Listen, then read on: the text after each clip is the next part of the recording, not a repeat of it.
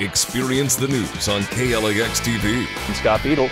Join me for ABC 31 News, weeknights on KLAX TV. Experience it. It's the news and it's what we do. ABC 31 News on KLAX TV.